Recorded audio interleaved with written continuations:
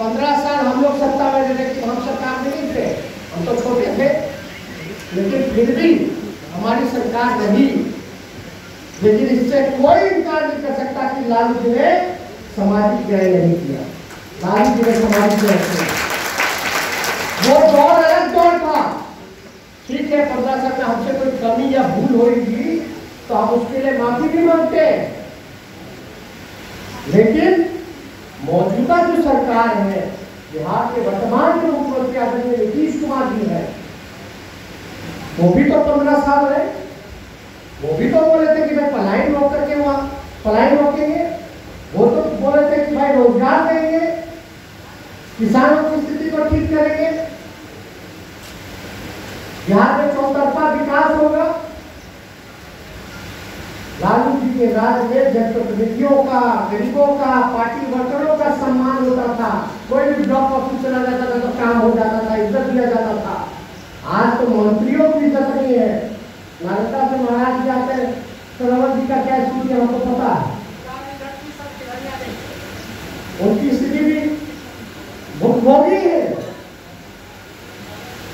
आप बताइए कोई अधिकारी अफसर आप लोगों का बात सुनता है कोई इज़्ज़त मान सम्मान है नहीं पूरी तरीके से अफसर शाही है तो ये सारा चीज़ जो बात सही है।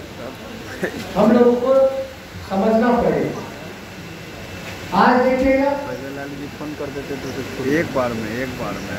बिहार में लगभग जितना सरकारी स्टाफ लाख से ज़्यादा लोग जो है, कमी है जो है वो वापस आए। चाहे खाना का देख लो सुप्रीम कोर्ट ने कहा नीतीश जी को कि नीतीश जी ये आपकी नैतिक ज़िम्मेदारी बनती है कि आप इन लोगों को रोज़गार दे और जल्द से जल्द इन तीस लाख लोगों को बेरोजगार दें। बिहार में पहले से ही पाँच छह करोड़ लोग बेरोजगार हैं। डिग्री ले करके भी विधानसभा में नौकरी का निकला था। दो सौ सीट चपरासी का मालिक का, ड्राइवर का। अब भरने वाला फार्म कौन लोग था? एमबीबीएस किया हुआ इंजीनियर किया हुआ। पीजी किया हुआ, उसमें भी उन लोगों का रोज़गार नहीं मिला तो लोग तो बाहर गए काम के तलाश में। कोई ढंग का अस्पताल है? इलाज कराने लोग जाते हैं। बच्चों को पढ़ाने के लिए लोग बाहर भेज देते हैं। बिहार का पैसा बिहार के बाहर जा रहा है इससे हम लोगों को नुकसान हो रहा है।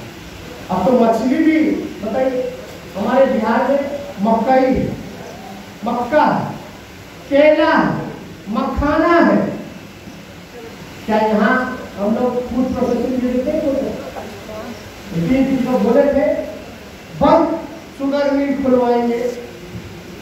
जो खुला हुआ था वो बंद हो गया। इनके राज्य में पेपर मिल बंद हो गया जूट मिल बंद हो गया। एक कारखाना अगर बिहार में अगर लगा हो तो आप लोग हमको बता दें। कोई कारखाना नहीं, कोई इंडस्ट्री नहीं, कोई आईटी पार्क नहीं, कोई सेज नहीं। तो क्या चीज़ का विकास? विकास केवल अमीरों का होगा नीतीश कुमार जी का राज जो है, वो भ्रष्टाचार का राज है। भ्रष्टाचारियों का बोलबाला है। जाति प्रमाण पत्र बनाना हो डेथ सर्टिफिकेट बनाना हो, या कोई योजना का पैसा लाभ